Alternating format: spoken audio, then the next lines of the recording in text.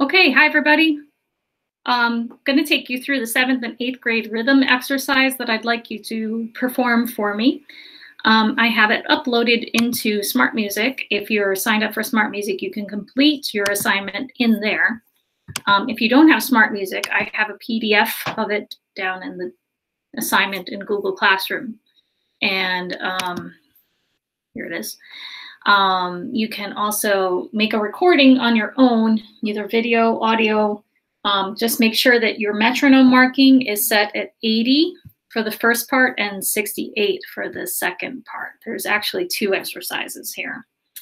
All right, so this is what I have. So in 4-4 time, I have you playing quarter notes, half notes, eighth notes, um, whole notes, dotted quarter notes, you have some 16th notes. So basically any rhythm that a seventh or eighth grader should be expected to be able to perform. Um, in this case, the first two lines I have set on A. Um, the second two lines are in 6-8 time, and the tempo is 68. So if you try to play this all the way through, you're going to adjust your tempo a little bit when you get here. Um, we have our eighth notes. We have our dotted quarter notes. We have our quarter, eighth, quarter, eighth, like we do. This is all based on stuff that we saw in, uh, what's the name of that piece? Not Pirates of the Caribbean, Pieces of Eight, Pieces of Eight.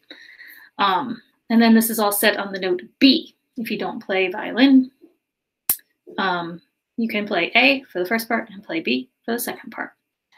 All right, so I'm going to try to do this by playing my violin and recording it and see how well I do. Use, go back to melodic and test and start.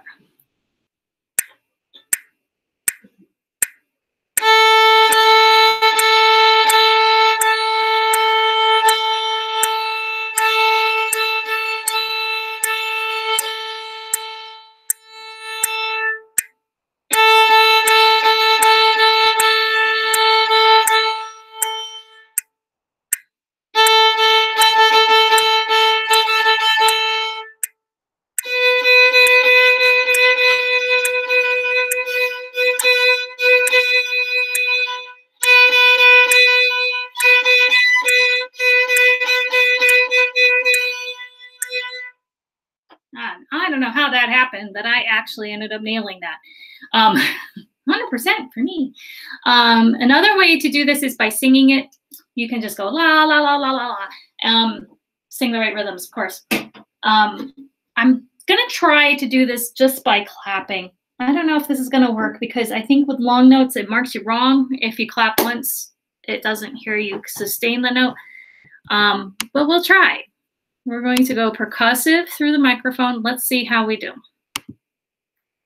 All right, here we go.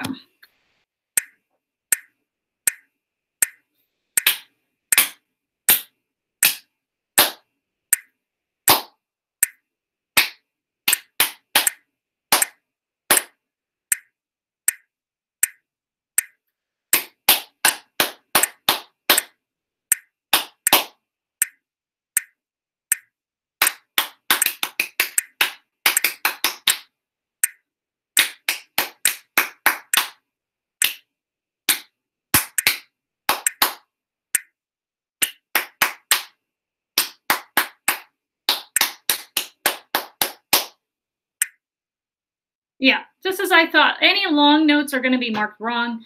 So it's probably to your benefit to uh, sing or perform on an instrument.